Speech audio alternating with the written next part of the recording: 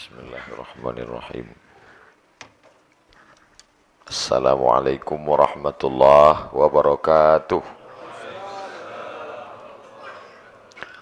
Alhamdulillahilladzi bi ni'matihi tatimmu shalihat wassalatu wassalamu ala sayyidis sadat wa ala alihi wa ashabihi ahli al-fadaili wal karamat. Subhanaka la ilma lana illa ma 'allamtana innaka antal alimul hakim. Rabbi syrah li sadri wa yassir li amri wa hlul 'uqdatam min lisani yafqahu qawli. Yang dimuliakan Allah Subhanahu wa taala Datuk Mufti Tuan Imam pengerusi masjid muslimin muslimat jamaah fardu subuh insyaallah semuanya dimuliakan Allah Subhanahu wa taala.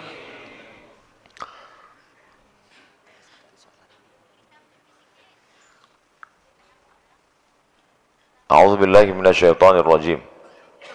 Laula akhartani ila ajalin qarib fa asaddaqa wa akum minas salihin.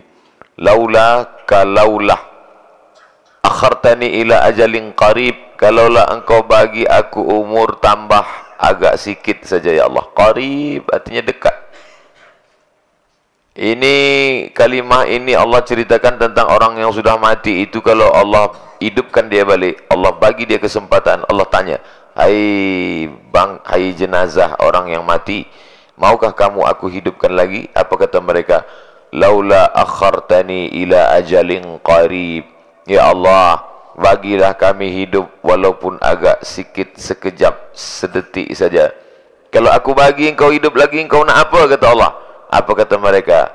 Fa'asaddaqa. Aku ingin bersadaqah. Tak ada mereka katakan. Kalau aku bagi kau hidup lagi, kau nak apa? Aku nak pergi haji, kata. Tak ada. Aku nak salat tahajud, tak ada. Aku nak kahwin lagi, kata. Tak ada. Fa'asaddaqa. Aku ingin bersedekah. Wa akum minas salihin. Dan aku ingin menjadi orang yang saleh. Bahagian yang kedua kita sudah wa akum minas salihin. Masukkan aku orang yang saleh. Alhamdulillah kita sudah masuk menjadi jamaah Masjid As-Salihin. Tinggal bahagian yang pertama ni lagi yang belum. Fa as-saddaqa bersedekah. Biasa kalau saya cerita tentang masalah sedekah ni biasalah biasa tempat-tempat lain. Asal saya dah cakap pasal sedekah, tak lama sesudah itu keluar kotak sedekah. Biasa tapi kabarnya di masjid di Melaka ni tak ada. Tak ada sebab mereka langsung saja transfer banking. Uh, langsung aja dia kirim. Fa as-saddaqa wa akum minas salihin. Ibadah kita ini dibagi kepada dua. Yang satu namanya ibadah badani. Badan ni sudah jadi bahasa orang Melayu. Badan ni ibadah badan lah. Tadi yang sudah kita buat ni semua ibadah badan. Masuk ke dalam masjid, langkah kaki kanan. Kaki kanan, badan. Eh, kaki mana pula badan Pak Ustaz? Lain kaki, lain badan. Badan semua. Dari ujung rambut sampai ke ujung kaki namanya badan. Lalu kemudian membaca doa Allahumma aftahli abu rahmatik. Badan. Kena ibadah mulut, lidah, hati. Semua ibadah badan. Dari mulai jantung yang di dalam. Nafas, paru-paru. Itu semua ibadah badan. Lalu kemudian mengangkat tangan. Allahu Akbar. Bismillahirrahmanirrahim. Jangan bandingkan dengan Tuan Imam. Jauh. Saya sembahyang subuh, subuh ni. Saya pejam mata kejap. Rasa-rasa di Masjidil Haram bersama Syekh Bandar Bali lah. Saya sebut. Masya Allah. Tabarakallah. Matta'an Allahu bihusni sautihi. Kita sudah merasakan nikmat dengan suara yang merdu. Laqad zayyana as-sama'a ad-dunya bi zinatinil kawakib. Kami sudah hiasi langit dengan bintang gemintang yang begitu indah. Maknanya mata kita suka pada yang indah-indah, yang elok-elok, yang cantik-cantik. Kalau mata suka pada yang indah, telinga juga suka pada yang indah. Itulah makanya suara imam itu amat sangat berpengaruh kepada makmum. Kadang kita tak terasa sembahyang lama kalau imamnya, Masya Allah. Kadang terasa lama betul. Walaupun inna a'taina. Kadang imam ni banyak pula batuk daripada ayat lagi. Masya Allah. Ini pentingnya. Maka muda-muda belia kita, anak-anak kita, kita didik. Supaya dia hafaz Al-Quran. Mudah-mudahan anak cucu kita hafaz Quran. Suara pula elok. Membaca ayat-ayat. Sehingga tak terasa tahajud qiyamul lail. Masya Allah. Tabarakallah. Ini semua ibadah badan. Rukuk ibadah badan, sujud ibadah badan, tasyahud ibadah badan, iftitah ibadah badan. Selepas itu berzikir, astagfirullah, Allahumma antas salam, ibadah badan. Mengangkat tangan berzikir, ibadah badan. Doa, ibadah badan. Ini semua ibadah badan. Tapi ada satu lagi bukan ibadah badan. Namanya ibadah maliyah. Ibadah badaniah, badan. Yang satu lagi ibadah maliyah. Mal. Mal artinya condong. Pokok kayu di tepi pantai, kemana condongnya? Ke laut. Pokok kayu, di, pokok kelapa di tepi pantai tumbuh, condong dia ke laut. Mal maknanya condong. Kenapa orang Arab menyebut harta itu mal? kerana hati kita condong kepada harta. Hati condong kepada harta. Maka disebut dia mal condong. Orang putih menyebutnya mall. Sebab hati condong ke mana? Banyak mengaku hati condong ke mall. Bila ada masjid, ada mall. Di mana orang ramai? Di mall. Tempat lain, di Melaka masjid. Malam tadi Masya Allah Saya posting gambar Oh Merlimpah ruah Masya Allah Saya sangka Sebab dah ramai malam tadi Ini subuh ni nampaknya setengah sop je Sebab malam tadi dah habis Rupanya lagi ramai Tak nampak ujung jamaah entah di mana Apa maknanya Ibadah harta Ibadah badan penting Mana yang paling penting Ibadah badan ke ibadah harta Kalau diam, as-sukutu alamatur ridha. Diam tanda setuju. Tah mana dia setuju? Ya. Hadis diam tanda bersetuju ni ceritanya anak gadis dipinang orang. Maka seorang bapa tak boleh meminangkan anaknya sebelum dia tanya dulu. Dia tanyalah. Kalau di kampung saya, kemarin saya baru jadi saksi nikah, itu berikut ini kita dengarkan apa kata anak Maka si bapa bertanya kepada anaknya. Dia tanya, anakku, maukah engkau menikah dengan lelaki ini? Biasa anak gadis tu malu dia diam. Dia tak jawab. Diam dia tu kata Nabi, as-sukutu alamatur ridha. Diam tanda setuju. Anak gadis dulu. Sekarang dia pula anak. Yang itu sajalah kata dia. Oleh sebab itu maka kalau ada orang diam, setuju. Tuan-tuan bersetuju tak kalau kita subuh ni bersedekah seribu ringgit? Ha, lah tu. Oleh sebab itu maka ibadah harta. Makanya kata Allah Subhanahu wa taala manakala bercerita tentang jihad, selalunya kita kalau sebut mana jihad ni nyawa, jihad ni mati syahid. Tapi kalau kita tengok dalam Quran dia tak cuba tengok ayatnya. Al adullukum ala tijaratin tunjikum min azabin alim. Maukah kamu aku tunjukkan satu perniagaan yang membuat kamu selamat daripada azab neraka jahanam? Kata Allah Ta'ala. Mau. Apa dia? Tu'minuna billah. Beriman kepada Allah. Wa tujahiduna fi sabilillah. Berjihadlah kamu di jalan Allah. Dengan apa?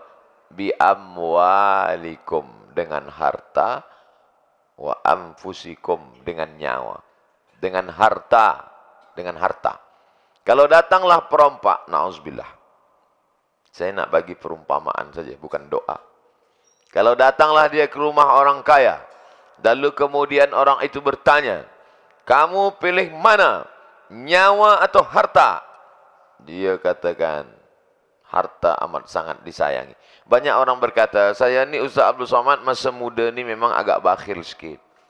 Tapi nanti kalau saya dah tua, rambut dah putih, dah dekat liang kubur, saya tak pentingkan harta ni lagi. Banyak orang berprasangka demikian. Cuba kita tengok hadis Nabi SAW. Apakah orang makin tua itu makin sayang harta atau tidak?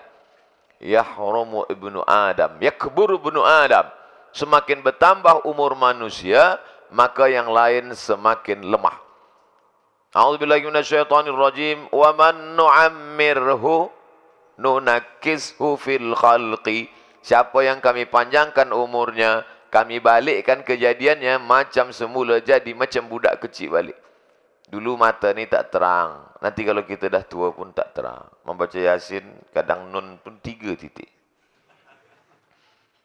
Dulu masa belajar berjalan kaki tak kuat. Nanti sampai masanya kita tua tegak lama sikit tak kuat. Imam baca ayat agak panjang sikit. Meleleh air mata kita. Bukan kena sedih, kaki sakit tegak lama. Ya keburu-buru Adam, kalau umur manusia ni bertambah, maka dia pun semakin lemah. Mata lemah, telinga lemah, kaki lemah, utak lemah, jantung lemah. Semua lemah. Kecuali dua, kata Nabi. Ada yang umur bertambah, yang lain lemah, tapi yang dua ni makin kuat. Apa dia? Hubbul mal, makin cinta harta.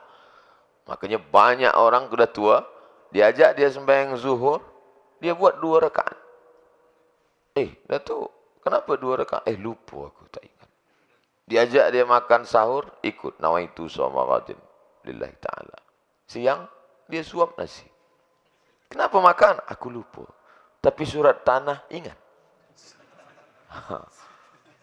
ingat.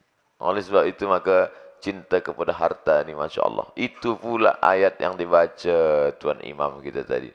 Wa tuhibbunal mala hubban jam ma kamu cinta kepada harta amat sangat kuat. Maukah kamu datang solat berjamaah? Siap datang. Maukah kamu datang mendengar tazkirah? Siap telinga. Maukah kamu qiyamul lail malam? Siap mata. Semua siap. Maukah kamu bersedekah? Lupa. Nah, memanglah tabiat manusia. Apakah orang Melaka ni suka bersedekah?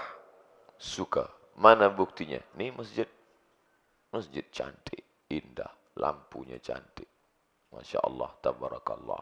Ada ekor cantik, sejuk, rasa-rasa di Turki sekarang. Masya Allah. Tulis-tulisan ni cantik. Saya minta kepada sesiapa saja yang membina masjid, masjid baru, masjid besar, masjid kecil, supaya ikutlah tulisan kaligrafi khat yang ada di Masjid Salihin Melaka. Hendaknya buat macam ni. Kerana banyak saya tengok kaligrafi di masjid-masjid, banyak orang manakala dia tengok kaligrafi, Masya Allah Ustaz, cantiknya. Apa ayat tu? Entah. Ha, tapi di masjid salih ini dia tahu. Cuba tengok. Wallahul ghaliqul bari'ul musawwiru lahul asma'ul husna yusabbilahu ma fis samawati wal ard wa huwal azizul hakim. Dialah Allah yang mencipta, yang mengadakan, yang membentuk rupa, yang mempunyai nama-nama yang paling baik. Kadang setengah orang dia rasa segan nak tulis huruf huruf uh, E B C D di masjid. Maka dia jangan tinggalkan huruf Arab Melayu, huruf Jawi. Anak-anak kita mesti faham. Sebodoh-bodoh orang Melayu zaman dulu mustahil dia tak boleh baca Quran. Sebab apa? Sebab dia baca tulis huruf Jawi. Ha, ini hidupkan balik. Maka mesti ada tulisan di sekolah-sekolah huruf Jawi lagi. Dulu kami lama tak ada huruf Jawi. Selepas reformasi tahun 1998, maka semua kawasan daerah boleh tulis huruf apa huruf huruf daerah dia. Maka orang orang di Jawa pun tulis huruf Jawa balik. Di Sulawesi ada huruf Paku, tak huruf macam-macam huruf. Kami di Riau Melayu, kami balik tulis huruf Jawi. Nama-nama jalan tulis huruf Jawi. Nama-nama, bahkan di Siak, ada nama satu kawasan kerajaan Melayu Siak. Huruf Jawi. Tidak hanya nama jalan, nama ofis, sampai nama-nama uh, tempat-tempat niaga uh, Cina-Cina pun pakai huruf Jawi. Saya sampai situ lama saya tak boleh baca. Apalah baca. Rupanya Ong Tai Kim. Ah, kita lama juga di Arab. Ini tak boleh baca Arab. Yang lama di Arab jangan sombong. Sebab unta lebih lama lagi. Oleh sebab itu maka ibadah harta ni mesti. Banyak orang setengah orang mengatakan kita tak perlu kaya. Kita sebut tak perlu harta. Harta ni hanya melalaikan pada Allah saja. Maka kita mesti hidup susah, hidup miskin. Siapa yang mengajarkan ini? Cuba kita tengok. Man bana masjidan siapa yang membina masjid. Banallah lahum mislahu baitan fil jannah. Dibenakan Allah untuknya satu tempat di dalam surga.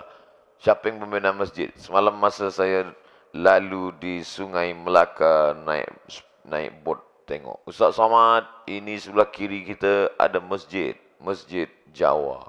Masya Allah. Patutlah saya tak boleh tazkirah di situ. Sebab saya bukan orang Jawa. Dalam Islam nama je. Masjid Jawa, Masjid India, sesiapa saja boleh sembahyang di situ. Masjid apapun namanya. Sebab kalau sudah masuk ke dalam masjid wa annal masajid lillah, masjid punya Allah, siapa pun boleh masuk. Mungkin sebab banyak komuniti suatu suku, maka dia buat.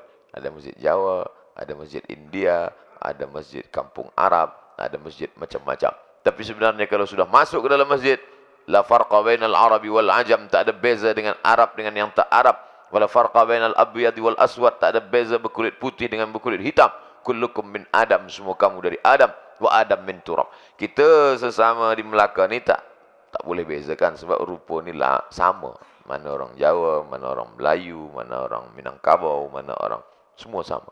Tapi manakala kita di Masjidil Haram, nampaklah semua hamba-hamba Allah. Kadang kita berdoa di tepi Kaabah tu pun manakala kita berdoa pejam mata khusyuk sikit. Tapi kalau buka mata, tengok sebelah ni hitam. Tengok sebelah ni putih macam bentuk doa. Berdoa pula orang Turki, bahasa Turki. Berdoa orang India, bahasa India. Berdoa orang kita, bahasa Melayu. Macam-macam doa dipanjatkan kepada Allah Subhanahu wa taala. Tapi yang paling utama adalah man bana masjidan, membina masjid. Sampailah Nabi Muhammad sallallahu alaihi wasallam pada hari Isnin. Bertolak dari Makkah hari Isnin sampai di Quba hari Isnin. Lapan hari, lapan malam. Naik unta. Sampai di Kuba menginap tidur empat malam. Malam Selasa, malam Rabu, malam Khamis, malam Jumat. Empat malam tegaklah satu masjid. Itulah dia Masjid Kuba. Siapa yang solat di Masjid Kuba dua rakaat, maka sama seperti umrah. Mengapa begitu kata Nabi sallallahu alaihi wasallam? Sebab orang di Makkah senang saja nak umrah. Tawaf, sa'i, tahallul, umrah. Tawaf, sa'i, tahallul, umrah. Orang Madinah macam mana nak pergi umrah? Pergi umrah Abu Jahal, Abu Lahab, Abu Sufyan sudah siap dengan pedang. Maka kata Nabi, siapa yang solat sunat dua rakaat di Masjid Quba dapat pahala seperti umrah. Mudah-mudahan kita boleh diberi Allah Taala rezeki melimpah ruah solat sunat dua rakaat di Masjid Quba. Sekarang banyak jamaah umrah ini masuk ke Masjid Kuba, keluar balik. Tak ada sembahyang. Ambil gambar aja. Nauzubillah. Mana ibadah kita? Apa maknanya? Empat malam, malam Selasa, malam Rabu, malam Khamis, malam Jumat berdiri satu masjid yang besar. Lalu kemudian pada hari Jumat bertepatan pula kita pun hari ini hari hari Jumat. Hari Jumat Nabi SAW bertolak dari Kuba ke Al-Madinah Al-Munawwarah. Bertolak dia dari Kuba, berjalan dia. Tak boleh jalan cepat sebab orang ramai nak menyambut dia berjalan, dia pelan. Masuk waktu solat Jumat. Sembayang Jumat dia di jalan itu. Tepi jalan. Tempat dia sembayang Jumat itu. Mengambil barakah tempat sujud Nabi dan para sahabat yang diridai Allah. Dibinalah satu masjid oleh khalifah yang adil bernama Umar bin Abdul Aziz. Berdirilah satu masjid. Itulah yang hari ini namanya Masjid Al-Jumu'ah. Masjid Al-Jumu'ah itu bukan Nabi buat. Nabi sembahyang Jumat je. Tapi tempat sujud dia itu dijadikan masjid untuk jadi mengambil barakah. Masjid Al-Jumu'ah. Tapi jamaah-jamaah umrah jarang bertanya, Ustaz, di mana Masjid Al-Jumu'ah? Jarang. Yang banyak bertanya, di mana tempat cerik kuning? tempat celak. Bukan salah shopping belanja, tak salah. Tapi kita mesti kenali ini. Apa maknanya? Dalam lima hari saja mereka sudah membina dua masjid. Masjid Quba, Masjid Al-Jumu'ah tempat yang baik, tempat yang mulia. Lalu kemudian sampailah Nabi SAW. Semua nak sambut Nabi. Datang orang ini kata, engkau ke tempat kami lah Rasulullah. Datang pula si fulan, kau ke tempat kami lah Rasulullah. Kata Rasulullah SAW, di mana untaku nanti berhenti, aku akan di situ. Unta Nabi SAW berhenti di kawasan Bani Najjar. Berhenti unta di kawasan Bani Najjar. Lalu kemudian kata Nabi SAW, Al-mar'u ma'arahili. Orang akan bersama dengan kendaraan binatang tunggangannya. Sebab dia berhenti di sini, maka aku pun di sini. Tempat Nabi berhenti itu pula lah masjid yang ketiga. Itulah dia Masjid Nabawi. Ma baina baiti antara rumahku wa mimbari mimbar aku. Raudatun min riyadil jannah. Satu taman daripada taman-taman surga. Apa kata orang Madinah? Ambillah tanah ni ya Rasulullah. Ambil tanah ini. Tapi Nabi bayar. Kenapa Nabi tak nak mengambil? Kenapa mesti Nabi membayar? Kerana Nabi ingin mendapatkan pahala sadaqah. Padahal sebetulnya Nabi tak perlu sadaqah. Sebab dia tak bersedekah pun Allah akan berikan dia apa yang dia nak. Wala sawfa yu'tika rabbuka fatarda. Apapun yang kau mahu pasti aku akan bagi wahai Muhammad sallallahu alaihi wasallam. Tidak akan ada alam semesta ini kalau bukan kerana Muhammad sallallahu alaihi wasallam. Tak ada surga, tak ada neraka, tak ada dunia, tak ada makhluk kalau bukan kerana Muhammad sallallahu alaihi wasallam sebab dia kecintaan Allah Subhanahu wa taala maka tak perlu sebenarnya dia sedekah. Tapi kenapa dia beli tanah ni dia wakafkan? Dia ingin mengajarkan kepada kita ada satu amal yang mengalir walaupun kita sudah mati dikubur dimakan cacing tanah hancur berkeping menyatu dengan tanah dengan bumi. Tak ada lagi. Kubur yang sudah 50 tahun 100 tahun bila digali tulang pun tak ada lagi. Hancur Kalaupun ada tulang azmuz zanam, ujung tulang belakang sebesar ibu jari, sebesar ujung jari. Itu saja lagi tinggal. Itu yang ditunjuk Allah Subhanahu wa taala, "Innama amruhu idza arada syai'an ayyakula lahu kun fayakun." Hidup tegak balik berdiri. Yang lain hilang semuanya. Kain hilang, semua hilang. Kuasa hilang, semua hilang. Tapi ada yang kekal abadi. Maka kata Nabi SAW dalam sahih Muslim, "Idza matal insan, kalau manusia mati in qata'a putus." Sesiapa saja yang rajin baca Yasin. Man qara'a Yasin fi lailatin, siapa yang baca surah Yasin pada suatu malam, asbaha maghfuran lah, Allah ampunkan dosanya. Maknanya baca Yasin bukan malam Jumat. Karena bunyi hadis tu man qara'a Yasin fi lailatin, tak ada dia sebut malam Jumat. Sesiapa yang baca Yasin pada suatu malam, malam Isnin, malam Selasa, malam Rabu, malam Khamis, malam Sabtu, malam Ahad, tiap-tiap malam. Tak sanggup tiap malam, dia pilih malam Jumat. Malam Jumat pun tak sanggup, susahlah. Malam Jumat, Sayyidul Ayyam. Man qara'a surat Al-Kahfi yaumal Jumu'ah. Siapa yang baca surah Kahfi hari Jumat, pagi Jumat, petang Jumat, malam Jumat, siang Jumat, Allah alagum min nur. Allah berikan dia nur cahaya. Ma bainal Jumu'ataini hingga Jumat yang akan datang. Dari Jumat ini ke Jumat akan datang, diberikan Allah cahaya, terang Sehingga dengan cahaya itu boleh dia membezakan mana hak, mana batil, mana betul, mana salah, mana bengkok, mana lurus, mana hitam, mana putih. Kita kalau tak dapat cahaya, gelap. Budak kecil kalau sampai tak ada cahaya, maka kata orang-orang tua kita dulu, jangan sampai mati lampu. Jangan sampai mati lampu. Sebab kalau mati lampu, budak kecil sesak nafas dia. Gelap, sesak, menangis. Manusia kalau sudah gelap, tak lagi boleh dia bezakan mana kawan, mana lawan, mana musuh, mana sahabat, dihantam saja. Habis semuanya. Tak lagi dia boleh bezakan mana beras dia, mana beras fakir miskin. Dia makan semua. Oleh sebab itu maka kita minta nur.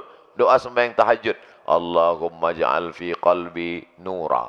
Wa fi sam'i nura. Wa fi basari nura. Wa an yamini nura. Wa an yasari nura. Wa min amami nura. Min khalfi nura. Min fawqi nura. Min tahti nura. Wa ja'al li nura. Belikan aku cahaya. Supaya apa? Supaya boleh membezakan mana betul, mana salah, mana hak, mana batil. Allahumma arinal haqqa haqqa warzuqna tiba'ah. Tunjukkan pada aku bahawa yang hak itu adalah benar. Beri aku kekuatan untuk mengikutinya. Wa arinal batila batila warzuqna jitinabah. Beri aku yang tunjukkan bahawa yang batil itu adalah salah. Dan berikan aku kekuatan untuk menjauhinya. Itu semua baik. Baca Yasin baik. Baca surah Al-Kahfi baik. Tapi kalau sudah mati, stop. Selama puan tuan di Melaka ni, pernah tak tengok orang mati baca Yasin? Tak ada. Kalau ada orang mati baca Yasin, kita pun lari. Takut. Tapi ada yang tetap kekal abadi selepas kita mati. Apa itu? Bersedekah surah Yasin. Di Melaka ada orang sedekah surah Yasin. Sedekah surah Yasin. Saya beberapa tempat saya bagi tahu sedekah surah Yasin ni dah banyak betul. Tiap-tiap tempat kita tengok surah Yasin. Maka yang lagi elok sedekah Quran. Tengok cantiknya Quran Masjid Solihin. Cantik, rapi. Nampaknya tak pernah dibaca. Hai Ustaz Somad ni menyindir aja. Tak. Baca. Beli Quran, wakaf. Kalau beli surah Yasin dapat seratus. Kalau beli Quran dapat sepuluh. Mana elok? Ah, Yasin dah banyak betul. Ah, beli Quran sepuluh. Beli Quran sepuluh. Terjemah harfiah. Satu ayat ada satu kalimah, ada satu terjemah, dibaca, ada pula tafsirnya, ada nuzul Qurannya, ada pula tajwidnya. Beli sepuluh untuk almarhum, almarhumah, bagikan. Satu untuk sekolah, tadika Islam, satu untuk libri, satu untuk masjid, satu untuk anak yatim, satu untuk fakir miskin, bagi-bagi kepada yang lain, wakaf lillahi ta'ala. Ha, ini amat sangat baik dengan itu mengalirkan pahala. Tapi selepas kita sedekah Quran ni, kita baca Quran juga. Banyak juga setengah orang dia sedekah Quran, habis itu dia tak ada baca Quran. Pakcik tak ada baca Quran. Saya terima pahala je. Hmm, mana boleh? Ha, begitu juga dengan bina masjid ni. Selepas kita bina masjid, kita datang ke masjid. Nabi dia bina masjid. Tapi dia tetap solat ke masjid. Sampai meninggal dunia. Sekarang setengah orang banyak dia bina masjid. Lepas tu dia tidur rumah. Ha, Tuan Haji tak ke masjid? Eh, pahala mengalir dah. Oleh sebab itu ini pahala adalah amal-amal yang baik. Sejalan. Amal badan terus, amal harta pun terus. Untuk apa kita beramal harta ini?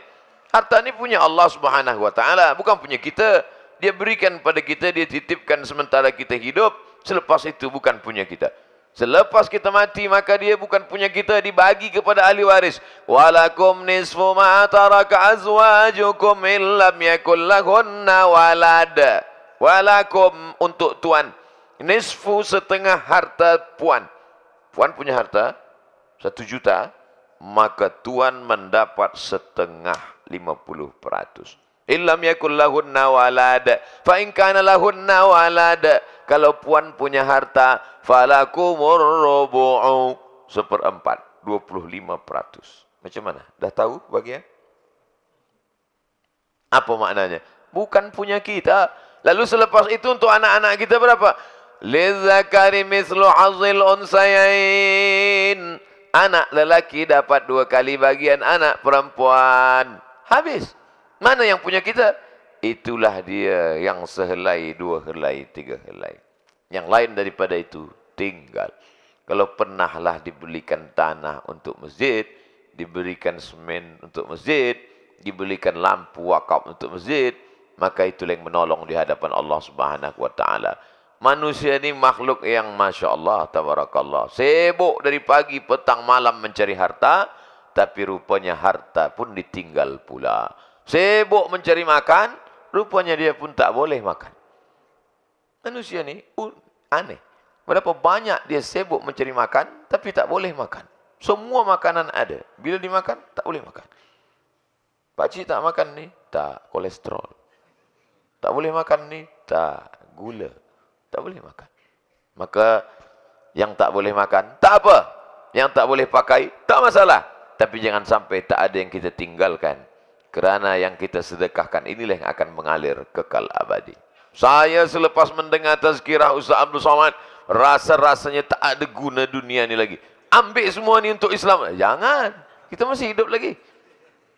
Datang sahabat Nabi. Ya Rasulullah, aku anakku hanya seorang perempuan sahaja. Itu pun suami dia kaya raya. Harta dia banyak. Ambillah hartaku ni semua ya Rasulullah. Kata Nabi, tak. Nabi tak nak. Kalau begitu aswatru, ambil setengah. Kata Nabi, tidak. Setengah pun aku tak mahu. Kalau begitu ambil sepertiga ya Rasulullah. As-sulusu kasir, kata Nabi. Sepertiga itu pun banyak.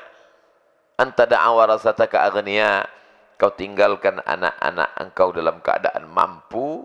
Khairun, lebih baik. Min anta da'ahum alatan. daripada kau tinggalkan mereka dalam keadaan fakir miskin ya takaffafuna 'alan nas minta-minta pada orang tak baik keadaan faqru ayyakuna kufran hampir saja kefakiran membuat orang menjadi kafir jangan tinggalkan anak cucu kita dalam keadaan fakir sehingga mereka menjadi kafir. Tapi amat sangat khawatir tentang hidup mereka lalu kita cari yang haram makan riba buat riswah buat riba lalu kemudian kita beri mereka makan haram. Jangan. Berikanlah yang halal. Allahumma ghnina bi halalika an haramik. Cukupkan kami dengan yang halal sehingga kami tak perlu mencari-cari yang haram ya Allah. Minta rezeki yang halal. Makanya doa minum air zam-zam Allahumma inni as'aluka ilman nafi'an wa rizqan wasi'an wa shifaan min kulli da'in wa saqamin. Tiga. Allahumma inni as'aluka ilman nafi'an bari aku ilmu yang bermanfaat. Kalau sudah ilmunya bermanfaat, maka apa yang dia dapat? Rizqan wasi'an. Rezekinya lapang. Tapi rezeki yang lapang tak ada guna kalau kita sakit. Wa shifaan min kulli da'in wa saqamin. Tapi ini yang tiga-tiga ini kita dapat. Sebab apa? Birahmatika ya arhamar rahimin. Ini semua kebaikan-kebaikan harta ini. Tapi kadang manusia ini kalau diajak dia bersedekah, sedekah untuk apa? Saya mendengar tazkirah tausiah Ustaz Abdul Somad bangkit semangat saya untuk berwakaf. Maka itu ada tanah, wakafkan untuk sekolah tahfiz Quran. Alhamdulillah. Manakala dicek, ditengok, rupanya tanah ini bermasalah. Kenapa wakafkan tanah bermasalah? Ustaz Abdul Somad. Sebab ada masalah. Itulah maka saya wakafkan. Ternyata beramal tidak kerana Allah. Kita ini disuruh beramal wa ma umiru illa liya'budullah mukhlishina lahuddin. Ada juga setengah orang kalau cerita sedekah ini dia buat dari awal tu cerita sedekah, keutamaan sedekah, manfaat sedekah, bagaimana sedekah. Akhir-akhir tazkirah, marilah bersedekah. Untuk siapa? Untuk saya. Kenapa Ustaz bahaskan subuh ni tajuk sedekah? Sebab kita ingin membina masjid salihin ini lebih besar, lebih mewah, lebih besar, lebih megah, lebih cantik di masa akan datang insyaAllah. Amin. 2020 saya datang ke Melaka. 2030 saya datang lagi. Bukan maknanya 10 tahun tu tak datang-datang juga. Dekat je. Bukan jauh dari Dumai. Pejam mata sampai. Sampai. 2000 datanglah tabligh akbar tazkirah kajian Islam merasmikan Masjid Solihin yang baru bersama Al-Mukarram Abdul Somad. Oh, Sebenarnya umur ini tak sampai 2030. Tapi kata malaikat, kata Allah Ta'ala, malaikat cabut nyawa dia. Kata malaikat, dia ada janji di Melaka. Ah, tambah sikit. Eh, Ustaz Abdul Somad ni mana boleh umur ditambah? Cuba baca hadis. Man ahabba satalahu fi rizqihi. Siapa yang mau rezekinya bertambah. Wa yunsa'alahu fi asarihi. Siapa yang mau umurnya bertambah. Falyasil rahimahu. Hendaklah dia menyambung tali silatu rahim. Orang yang menyambung tali silatu rahim. Umur boleh berubah. Mana boleh berubah? Allah sudah tetapkan. Yang sudah ditetapkan tak boleh dirubah. Yang menetapkan Allah. Yang merubah. Allah juga. Yamhullahu ma yasha' wa yusbit. Dia boleh menghapus, dia boleh menetapkan. Wa indahu ummul kitab. Dia yang punya lauhil mahfuz, bukan punya kita. Yang tak boleh merubah tu ketetapan kerajaan kita nak ubah. Mana boleh? Kerajaan buat ketetapan, dia ubah balik. Boleh sebab punya dia. Begitu juga dengan lauhil mahfuz. Ini punya aku kata Allah. Allah itu bukan berkehendak berbuat sesuai kehendak kita. Allah itu fa'alul lima yurid. Dia berkehendak sesuai dengan kehendak dia. Beza dengan kita, hendak kita orang tak hendak, tak jadi. Hendak kita Allah tak berkehendak, tak jadi. Kita tak hendak, Allah berkehendak, jadi. Oleh sebab itu yang perlu ini kehendak kita apa kehendak Allah? Kehendak Allah. Tapi kita mesti juga berkehendak. Ini banyak orang sekarang diajak, tuan tak solat, belum ada kehendak Allah lagi. ada tak orang macam tu? Ada. Diajak dia sembahyang. Tuan tak sembahyang ke masjid? Aku menunggu kehendak Allah. Tapi bila makan, orang yang macam ini, ini mestinya bila masa makan, tuan tak makan, belum ditanya dah makan duluan. Sembayang dia tunggu kehendak Allah. Ke masjid dia tunggu kehendak Allah. Kalau tak ada kehendak Allah, maka tak jadi. Betul. Tapi Allah dah bagi kita kehendak itu.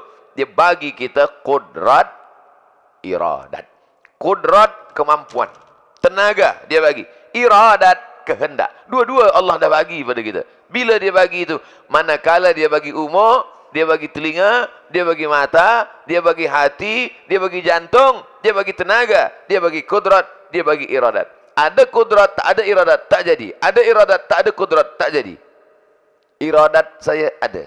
Kehendak saya. Hendak apa? Hendak minum. Kalau nak bagi contohnya, jauh-jauh, dekat-dekat je. Saya hendak minum. Kehendak itu namanya iradat. Kemampuan menggerakkan tangan itu namanya kudrat. Ada kehendak, tak ada kudrat, tak jadi. Tengok je lah, meleleh air liu. Ada kudrat, kemampuan ada, iradat tak ada, tak jadi. Siapa yang membagi itu? Allah. Allah dah bagi pada kita. Pakailah sesuai kehendak Allah. Ayyala salah. Gunakan kudrat iradat. Langkahkan kaki datang ke masjid. Awak tak datang ke masjid? Saya menunggu kudrat iradat. Sesat. Dallah wa dallah. Banyak sekarang orang ni bersesat pakai dalil pula. Dulu orang kalau sesat, sesat je. Sekarang sudah sesat, pakai dalil pula.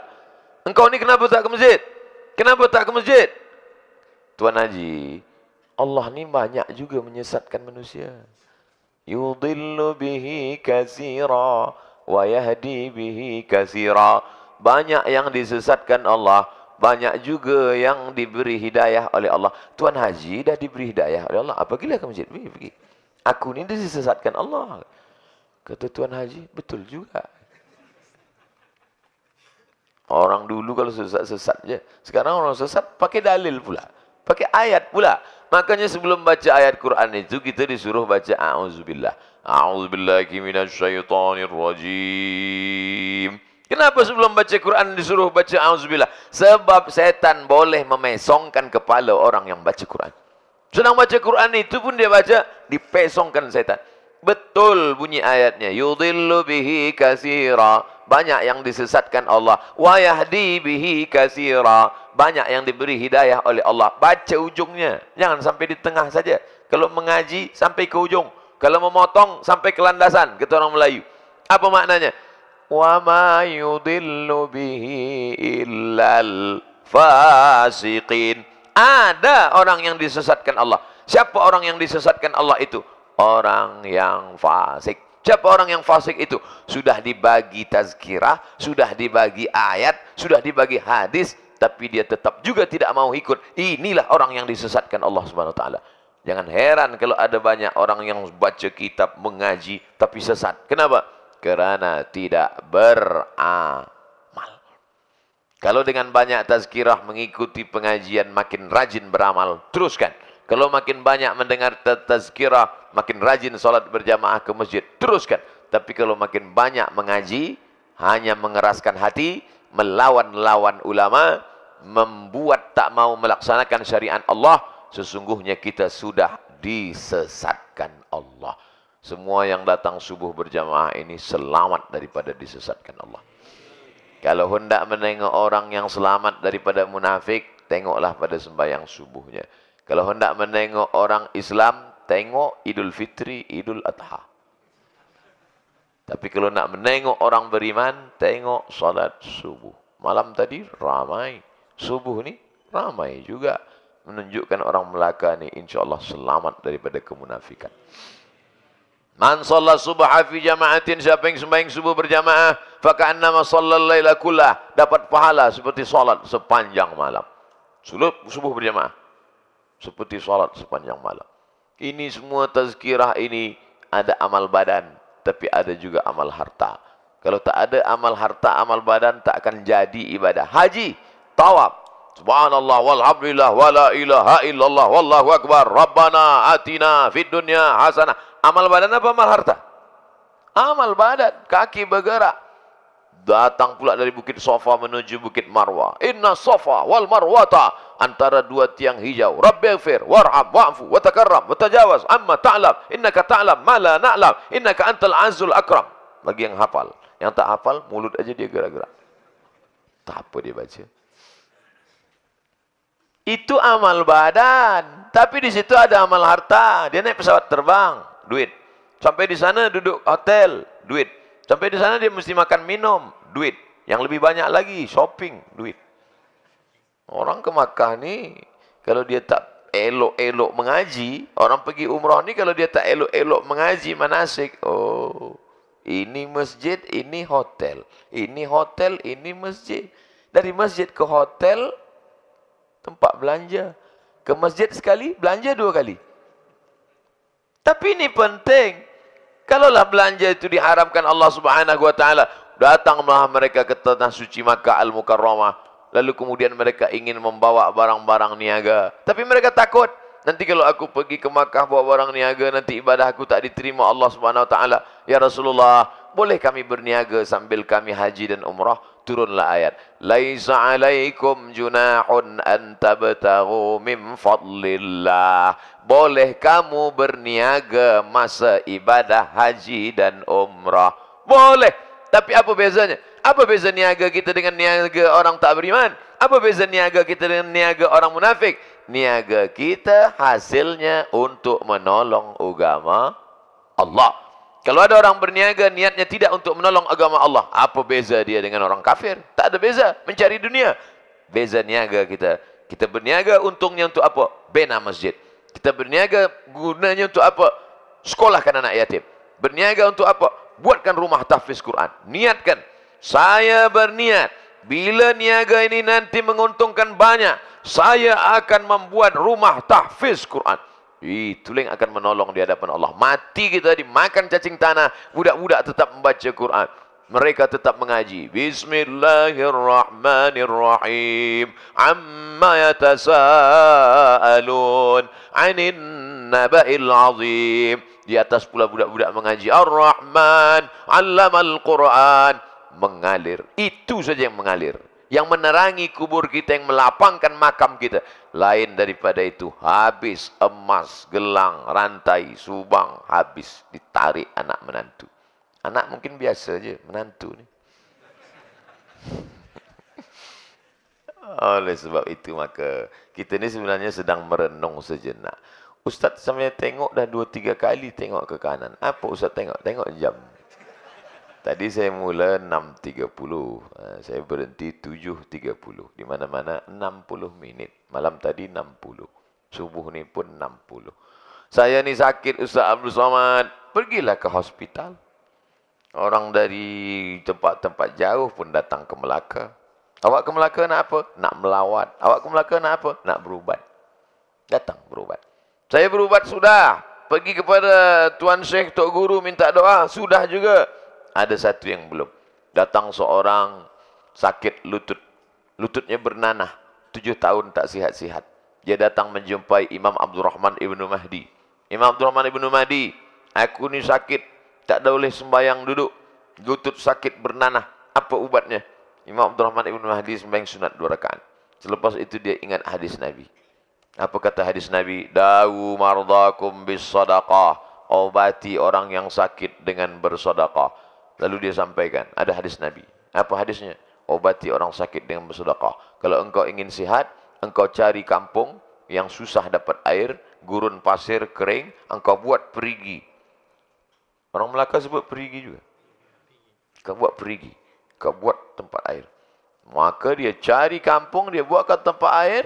Selepas itu dia datang lagi kepada Imam Abdul Rahman Ibn Mahdi. Imam Abdul Rahman Ibn Mahdi. Ya, lutut aku sudah kering. Nanahnya sudah hilang. Orang yang tak apa kata orang? Ya apa ni? Tak rasional. Apa hubungan perigi dengan lutut bernanah? Sakit datang dari mana? Dari Allah. Sihat datang dari mana? Dari Allah. Sulitkah bagi Allah mengeringkan lutut bernanah? Jangankan lutut bernanah, laut Melaka boleh kering. Apa lagi lutut bernanah? Allah tinggal katakan saja kun fayakun. Jadi, maka sebenarnya apa yang inginkan Allah Ta'ala? Allah ingin menunjukkan dia kuasa. Aku kuasa, aku mampu untuk membuat apa yang tidak engkau mampu. Oleh sebab itu maka di antaranya. Itu kan zaman dulu, Sa'abdul Somad, zaman Abdul Rahman Ibn Mahdi, dah lama dah. Zaman sekarang apa ada orang yang sihat kerana sedekah ini?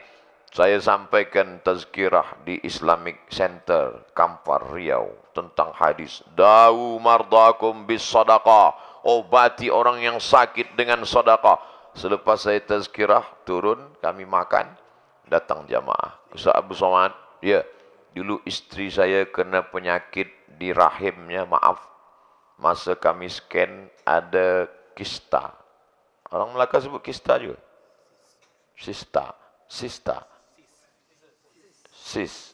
Pokoknya itulah dia. Sebesar duit. Dia tengok sebesar duit. Kata doktor, tuan, ini isteri tuan mesti operation. Ini mesti dihilangkan. Tapi nanti mudaratnya besar. Sebab kalau ini dihilangkan, rahimnya hilang. Kalau rahimnya hilang, apa maknanya? Dia tak boleh mengandung lagi. Banyak perempuan kalau doktor cakap ini mesti dihilangkan rahim hilang. Menangis dia meleleh air mata. Isteri dia menangis, laki dia pula senyum. Hmm, kenapa dia senyum? Tanyalah. Tak boleh.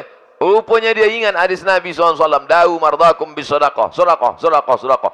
Dia panggil, dia jemput anak yatim, bagi makan. Dia pergi pada fakir miskin, bagi. Dia pergi ke masjid, dia tolong. Dia buatkan perigi, dia buatkan tempat wuduk, dia buatkan toilet. Dia cek lagi. Rupanya mengecik, mengecik, mengecik, mengecik. Hilang. Cek lagi, doktor pun heran. Awak makan apa? Tak ada. Makan asam pedas je. Kenapa ini hilang? Rupanya hadis Nabi. Kami yakin betul Ustaz Somad dengan ini. Ah, aku tak percayalah. Aku dah sedekah hari-hari tak hilang juga. Rupa sedekah tiga ringgit. Mana hilang? Cubalah banyak sikit. Oleh sebab itu maka Allah Subhanahu wa taala innallaha sesungguhnya Allah Subhanahu wa taala akan mengampuni segala dosa-dosa kita wa yaghfiru ma duna dzalika liman yasha tapi Allah tak memberikan ampunan kepada orang yang syirik. Dosa-dosa kita ini kalau Allah itu tidak ghafur, tidak rahim, tidak rahman, tidak sudah lama kita ini rata dengan tanah. Kalau Allah hendak, kalau Allah berkuasa, sikit saja. Wa idzal biharu fujirat ketika lautan diletupkan. Mohon maaf beribu maaf. Bukan doa, bukan pula menakut-nakuti tuan-tuan bukan menakuti puan-puan. Kita ni duduk di tepi laut. Betul? Saya masa di hotel malam tadi, sampai petang semalam, saya buka tingkap, saya tengok, eh tepi laut. Ni kalau naik air ni ke atas, gulung surat. Saya ni di tepi laut ni. Saya ni di tepi laut ni sekarang. Kemudian kami pun naik ke atas tower. Naik ke tower, dijelaskan dengan guide apa kata dia? Ustaz Somad, kita ni di laut. Ha? Jadi bukan TV laut. Bukan. Ini dulu ni air ni Ustaz. Kemudian ditimbun reklam. Maka tak ada lagi laut. Rupanya bukan pula tepi laut. Di tengah laut. Jadi kalau Allah berkuasa, na'udzubillah. Dia guncang sikit aja tepi laut. Oh, habis. Allah masih sayang sama kita. Allah masih lagi kasih dengan kita. Maka kita jaga. Dan kalau Allah jatuhkan hukuman itu yang kena bukan cuma yang jahat saja. Tsunami dulu manakala datang. Apa dia tengok? Ah, ini sembahyang. Ah, tak jadilah. Gitu. Tak. Semua rata dengan tanah.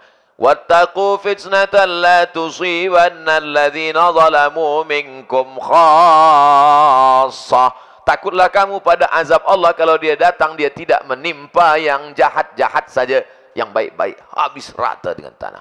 Itulah maka ada penting amar ma'ruf nahi mungkar. Sebab azab Allah kalau datang, na'udzubillah. Bagaimana cara menolak azab ini? Dulu orang-orang tua-tua kita, datuk-datuk kita, ayah, mak, ibu, bapa kita. Apa kata mereka? Mari kita banyak sedekah. Sedekah tulak bala. Di Melaka sebut sedekah tulak bala juga. Sedekah tulak bala. Saya sangka sedekah tulak bala ni tradisi nenek moyang orang Melayu sebelum Islam. Rupanya dog sedekah tolak bala ni ada dalam hadis Nabi Muhammad sallallahu alaihi wasallam. Sadaqatu sirri tadfa'u mitatasu sedekah menolak bala dan sedekah menolak menghilangkan menjauhkan daripada mati suul khatimah. Maka banyak-banyak sedekah. Sebenarnya kita sudah ditetapkan hari itu akan melanggar seekor kambing. Nauzubillah. Kenapa Ustaz pilih kambing? Entah tiba-tiba ingat kambing je. Sebenarnya hari itu takdir buruk. Tadi kan ada kita berdoa supaya dijauhkan dari takdir buruk. Man afait wa tawlini fi man tawallait wa barik li fi ma atait wa qini bi rahmatika syarra ma. Wa qini bi rahmatika syarra ma qadait. Jauhkan aku daripada takdir buruk. Doa kunut. Salah satu isi doa kunut jauhkan aku daripada takdir buruk. Tertulis takdir kita hari itu untuk melanggar kambing. Rupanya subuh tu lupa doa kunut Waqini syarra ma qadait. Itulah gunanya kita sembahyang berjamaah. Kita lupa, imam tak akan lupa. Imam lupa, kita ingatkan dari belakang. Macam mana cara mengingatkan imam? Subhanallah.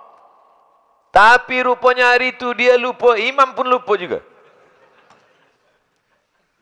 Bagaimana kita nak hilangkan takdir buruk ini? Dengan so, sodakoh, bukan soman.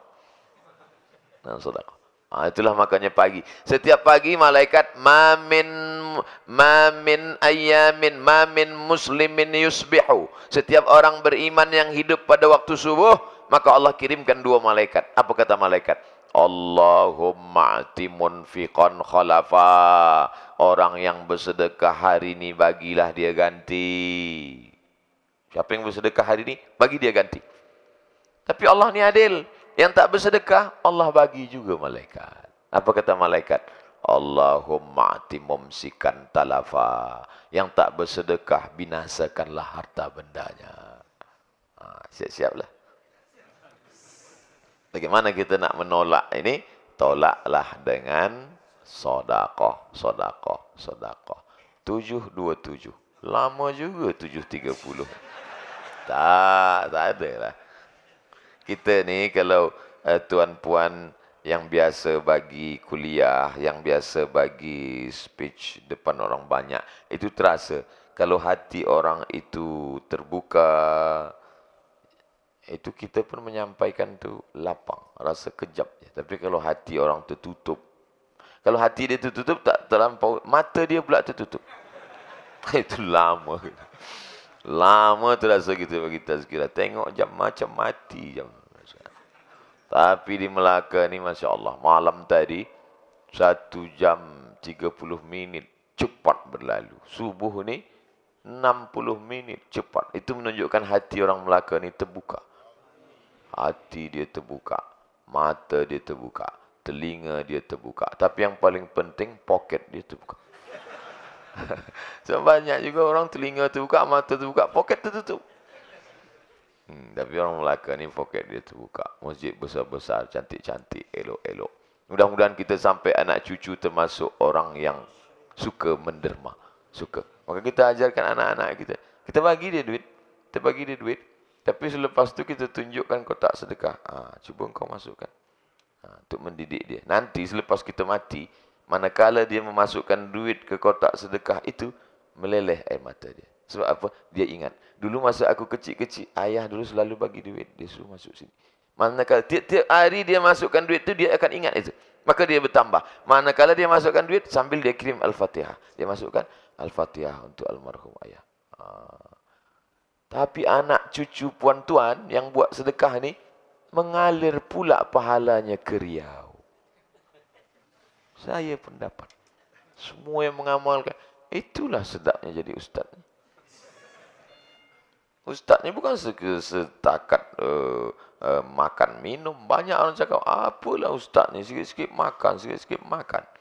Saya kalau sikit-sikit makan dah lama saya gemuk. Apa yang kau inginkan Ustaz Abdul Somad? Pergi ke Lumpur, pergi ke Melaka, pergi ke...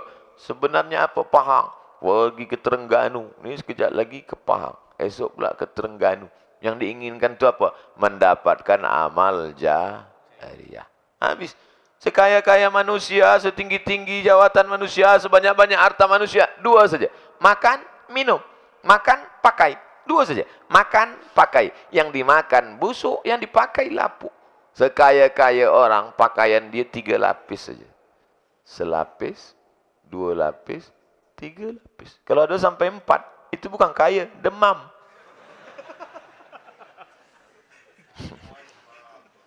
Sekaya-kayanya orang, makan dia paling banyak tiga kali tambah. Tambah, tambah lagi. Tuan nak tambah, tambah lagi. Tambah tiga. Lepas uh, kalau ada sampai lima kali, mungkin usus dah berlubang. Hidup ni bukan lama. Hidup ni bukan banyak. Dua je. Makan, pakai, makan, pakai, makan, pakai, sakit, batuk, mati.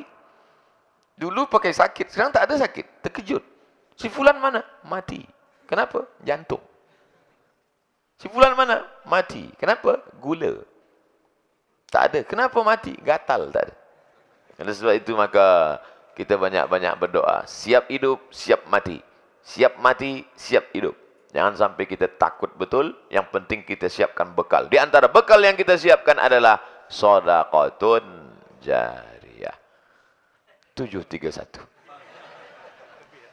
Mari kita sama-sama berdoa kepada Allah ala hazihin niyah wa kulli niyatin salihah. Al-Fatihah.